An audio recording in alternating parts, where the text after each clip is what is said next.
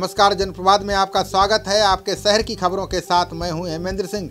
बिजनौर के नजीबाबाद में हिंदू मुस्लिम एकता के लिए निशुल्क शिविर का आयोजन किया गया। ये शिविर मुस्लिम फंड की ओर से लगाया गया। शिविर का उद्घाटन पूर्व सांसद राजा भारतेंद्र सिंह ने किया। भारतेंद्र सिंह ने कहा कि ऐसे कार्यक्रमों का आयोजन करना सराहनीय पहल है। बता दें कि नजीबाबाद के हरिद्वार मार्ग पर होटल इंद्रलोक के पास मुस्लिम फंड 15 साल से शिव भक्तों की सेवा करता आ रहा है। ये निशुल्क शिविर हिंदू मुस्लिम एकता की मिसाल पेश कर रहा है। यहाँ हिंदू मुसलमानों ने आपसी मोहब्बत और सौहार्द की एक विश्वविद्यालय कायम कर रखा है। और हम तो कहते हैं, जो और लोग भी हैं, वो भी आके यहाँ तालीम हासिल करें। और ये ये देखें कि हिंदू मुसलमान यहाँ एक दूसरे की कितनी इज़्ज़त करते हैं, कितना मान सम्मान करते हैं, कितनी मोहब्बत है, कितना भाईचारा है।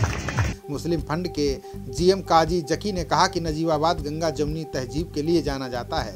ऐसे कार्यक्रमों से पूरे देश में एकता और भाईचारे का संदेश जाता है।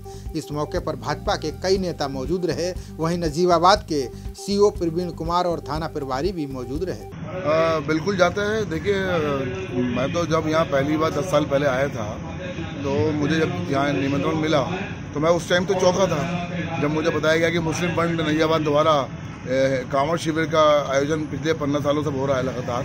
तो मैं तो वाकई मेरे लिए बहुत अचंभे की बात थी लेकिन आज ये यहाँ के जनमानस में हर घर घर में बात पहुँच चुकी है और हिंदू मुस्लिम एकता की इससे बड़ी कोई मिसाल नहीं हो सकती।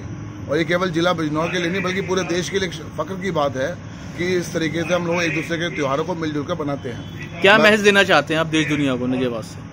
मैं तो चाहता हूँ नफरत की दीवारें तोड़नी चाहिए और नफरत की राजनीति करने वाले लोगों के लिए मुँह पे तमाचा है जोरदार। और जिस तरह की बात देश के प्रधानमंत्री कहते हैं कि सबका साथ, सबका विकास, सबके साथ मिलकर आगे बढ़ना, एक दूसरे के लिए काम करना, ऐसे ही हमें सबको मिलकर के एक दूसरे के त्यौहार मनाने चाहिए, एक दूसरे के दुख सुख में काम करना चाहिए। और इस देश के अंदर रहने वाले हर नागरिक का इस देश पर बराबर अधिकार है, कोई भी छोटा या बड़ा नहीं, हम सब आपस में भाई हैं।